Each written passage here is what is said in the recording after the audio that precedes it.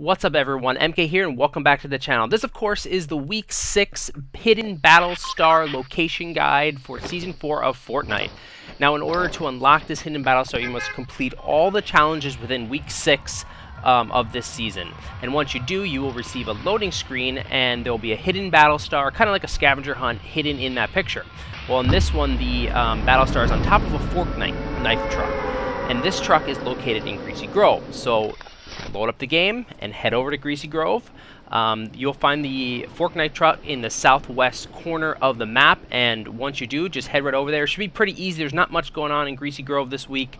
Um, all the other challenges are elsewhere on the map, so it shouldn't be a problem if you just land, grab the star, and get out of there. But I assume if you are at this point where you've completed all the challenges, you should have no trouble getting guns and surviving anyway. So, hey guys, hope this video helped you. Thanks for watching. I plan to make more of these um, Fortnite Battlestar location guides. I actually enjoy kind of making them. Um, I know the the um, you know the the YouTube scene is pretty saturated with Fortnite videos right now, but um, I'm just trying to get to a thousand subscribers as quickly as I can. So I'd appreciate it if you if this video helped you. Please like, please subscribe, and stay tuned for more. Thanks, guys.